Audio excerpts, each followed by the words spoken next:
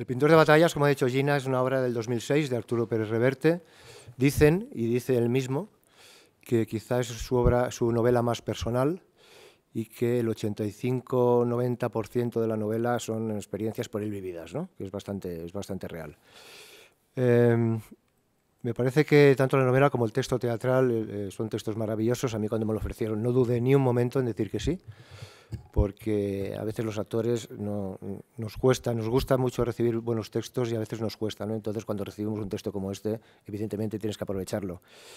Em, yo no os voy a contar cómo es la, eh, no os voy a contar detalles de la obra de teatro porque pienso que la mejor manera de, ver teatro es ir a verlo, al teatro, eh, que es donde está la magia del directo.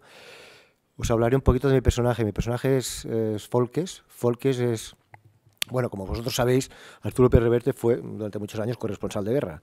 Entonces, Folkes, eh, el personaje, es un ex corresponsal de guerra que eh, al cabo del tiempo eh, bueno, deja su trabajo como fotógrafo y adquiere un torreón en un acantilado, un, torreón totalmente circular, y en ese torreón empieza a, a pintar un cuadro basado en las experiencias que él ha visto, las experiencias que él imagina, que podría haber visto y no ha visto, pero que las imagina, y en todos los recuerdos que tiene como corresponsal de guerra, que evidentemente, como puede suponer, son recuerdos nada gratificantes y bastante duros. Y, nada, bueno, también señalar que, bueno, la novela es, la obra de teatro está basada en la novela de, de Arturo, bueno, está basado, es la novela de Arturo Pérez Reverte, hecha la dramaturgia por Antonio Álamo, que es también el director de la obra, ¿no? También un poco señalar el trabajo que ha hecho Antonio, digamos, de recoger toda la parte más teatral que está implícita en la novela y poderla llevar a, un escenario.